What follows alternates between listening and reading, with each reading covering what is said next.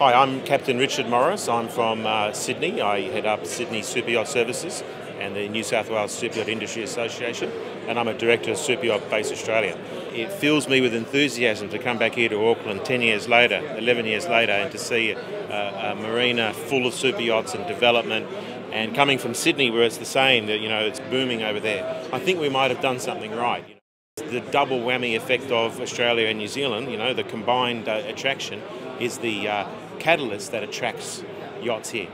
And, you know, and yeah, where there's a lot of conflict on the rugby field, but as far as business and tourism and promoting super yachts to, to come down here, it's better that we, we co-promote and, you know, the, the last 10 years since I was here at the America's Cup in 2000 to now, I'm, I'm so pleased to see so much development and, and the industry maturing and I am filled with excitement about what the next 10 years is going to hold.